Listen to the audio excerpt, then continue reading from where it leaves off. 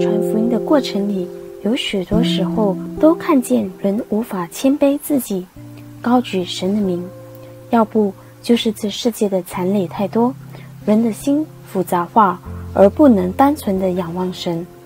其实，若我们的心单纯的像小孩子的话，我们会毫不犹豫的以我们的阿巴父为我们的榜样，就如我的孩子，都会不知不觉模仿我与我的丈夫的肢体语言。同样的，若我们与神的关系是有发展、有建立的话，我们也会在不知觉里模仿耶稣的一头足、一言语。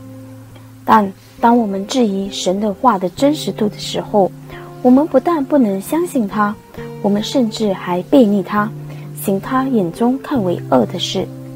马太福音十八章一到五节，当时门徒进前来问耶稣说：“天国里谁是最大的？”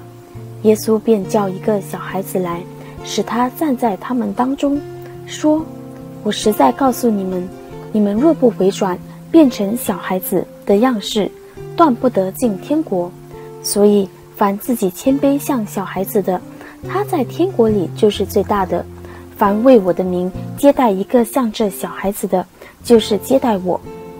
所以，我们不能忽略一个小孩子的信心。一个孩子虽在知识上有限，但他的单纯谦卑却是神所看重的。但愿我们都能恢复一个小孩子单纯的信心，依赖我们的创造主。为什么现今的信徒很难恢复一颗单纯的信心呢？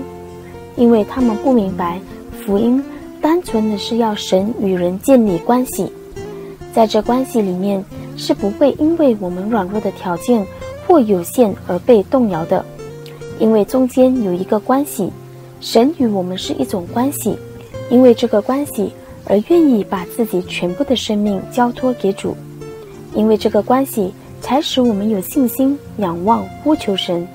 若有信心呼求神时，神的荣光与恩手再次会向我们显明。我们的信心不能单纯是因为我们常常复杂化我们所求所想的。我们一边听神的福音，另一边却拼命想要如何发横财。要不使人无法恢复单纯的信心，就是因为自以为意。我们还有所保留。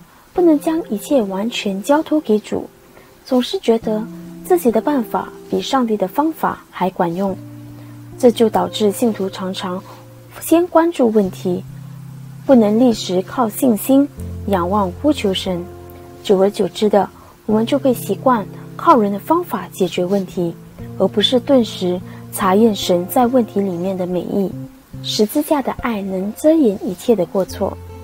孩童除了有一颗单纯的心以外，当他们能够感受到很多爱的时候，他们会更愿意信靠顺服，并且愿意被领导。一个肉身父母对孩子的爱是不讲条件的，无论孩子有多么顽皮、无理取闹，父母最终还是会爱这孩子到底，并且等候他。十字架的爱更是无条件的流露给我们。无论我们的光景如何的糟糕，神都悦纳我们。当一个人接受了十字架的救赎大恩时，道理上是明白神无条件的大爱，但是灵性上还是无法完全透彻这爱。这爱所包含的怜悯、能力、祝福，是许多信徒在信主以后没有更深、更实际的凡事上确认与领会的。因此导致自己容易被过犯所胜。在我们信主的日子里，神也任凭我们偶尔被过犯所胜，以致神多次在向我们显明十字架的恩惠，使我们爱神爱人更深。虽然我们偶尔会软弱，但心中没有惧怕。